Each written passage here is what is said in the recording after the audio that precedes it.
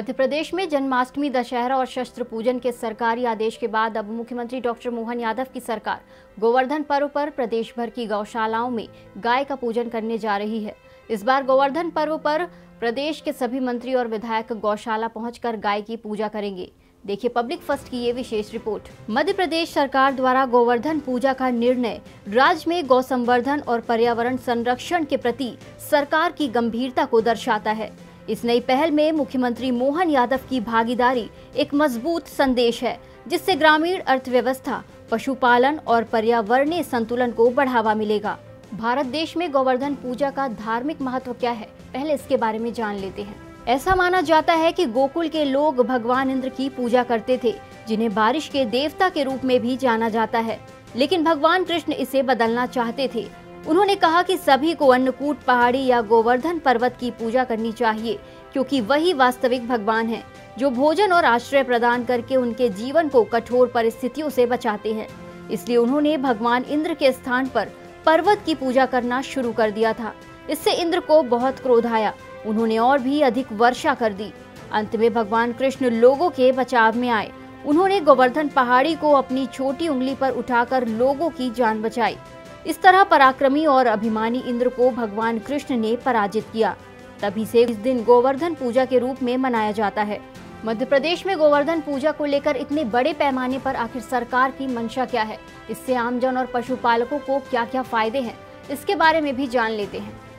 मुख्यमंत्री डॉक्टर मोहन यादव ने कहा है कि कृषि कार्य के साथ ही पशुपालन किसानों की आय बढ़ाने का ज़रिया है। राष्ट्रीय डेयरी विकास बोर्ड से भी प्रदेश में दुग्ध उत्पादन में वृद्धि के लिए करार हुआ है। किसानों और पशुपालकों को प्रोत्साहन के लिए दुग्ध उत्पादन पर बोनस दिया जाएगा। देसी गाय और अच्छी नस्ल के देसी नंदी के पालन के लिए मध्य प्रदेश प्राकृतिक कृषि विकास योजना में भी प्रोत्साहन राशि देने का प्रावधान किया गया है। गोवर्धन योजना के तहत गाय और अन्य मवेशियों के गोबर से जैविक खाद, ऊर्जा और अन्य उत्पादों का निर्माण किया जाएगा। इस योजना के तहत ग्राम स्तर पर गोबर एकत्र करने के केंद्र बनाए जाएँगे। किसान और पशुपालक अपने मवेशियों के गोबर को बेच सकेंगे। जिससे उन्हें अतिरिक्त आय का स्रोत मिलेगा। मध्य प्रदेश की मोहन सरकार ने गौशाला और गौ संवर्धन के लिए विशेष योजनाएँ बनाई हैं। पशुपालकों के लिए क्रेडिट कार्ड योजना शुरू की गई है। राज्य में गौशालाओं का विस्तार कर इन्हें आधुनिक तकनीकों से सुसज्जित किया जा रहा है, ताकि गायों की बेहतर देखभाल की जा सके। गौ संवर्धन के लिए विशेष प्रोत्साहन योजनाएँ चलाई जा रही हैं, जिनसे देशी नस्लों का संरक्षण किया जा सके। पशुपालकों को आर्थिक रूप से सशक्त बनाने के लिए क्रेडिट कार्ड योजना की शुरुआत की गई है, जिससे वो अपने पशुपालन व्यवसाय में सुधार कर सके। इस क्रेडिट कार्ड योजना के तहत पशुपालकों को बैंकों से ऋण सुविधा उपलब्ध कराई जा रही है, ताकि वो अपने व्यवसाय को बढ़ावा दे सके। राज्य सरकार ने दुग्ध उत्पादन को बढ़ावा देने के लिए पशुपालकों को सहायता प्रदान की है। इसके अंतर्गत पशुपालकों को आर्थिक अनुदान और तकनीकी सहायता दी जा रही है। दुग्ध उत्पादन के लिए गायों को बेहतर चारा चिकित्सा सुविधा और अन्य संसाधन उपलब्ध कराने का लक्ष्य रखा गया है। राज्य में गौ संवर्धन और पर्यावरण संरक्षण के प्रति सरकार गंभीर।